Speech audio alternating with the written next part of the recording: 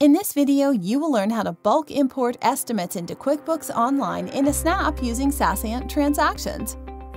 Before we get started with the process, you should have signed up for SaasAnt transactions and connected your QuickBooks Online company to it. You can bulk import your estimates from Excel, IIF, CSV, and text files into QuickBooks Online. For seamless data import, the first line in your file that you are importing is considered as file header, so make sure to remove any lines above the headers. Fill in the required columns like customer, estimate date, product, service, item amount, estimate status.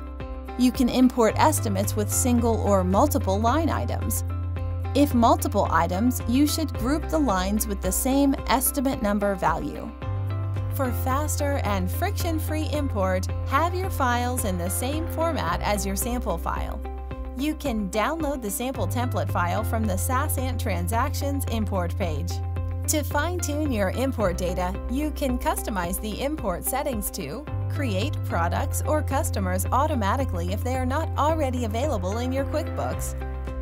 Assign estimate number from your file if you don't want QuickBooks to auto-assign it find customer by resale number or item by SKU, etc. Now let's get started. Click on the New Import button. Click on the Browse File button and choose the file that has the estimates that you want to import into QuickBooks. Alternatively, you can drag and drop the files on the screen. Once you have made the selection, click Continue.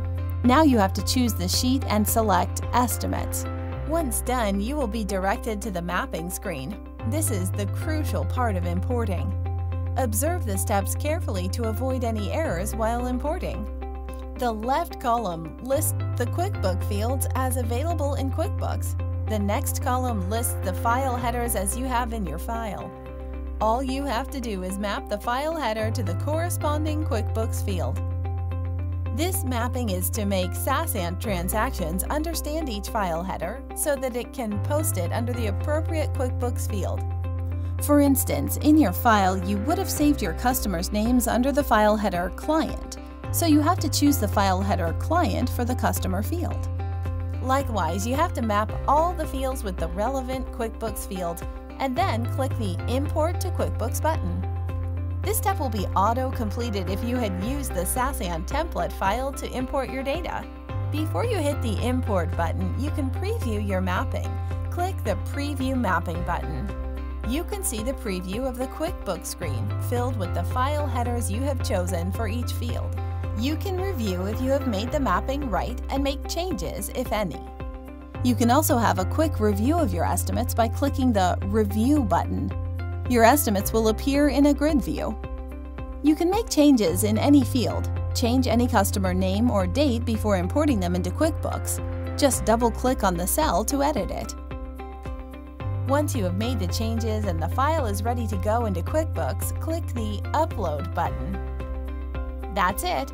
All the transactions in the chosen file will be posted into QuickBooks seamlessly hundreds of estimates imported into QuickBooks with just a few clicks. You can check the status of your import by clicking the report icon. Click on the file to see the success and error status. Under the Error Records tab, you will find suggestions to fix each error.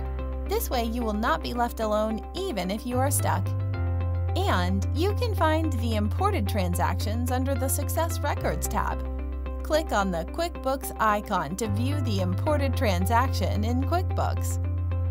You can easily remove synced transactions from QuickBooks. Just click the Undo button, choose the transactions that you want to remove, and click Delete.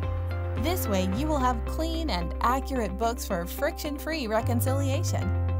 Feel free to drop us a line at support at saasant.com or book a personalized free demo to know better. We are just a click away.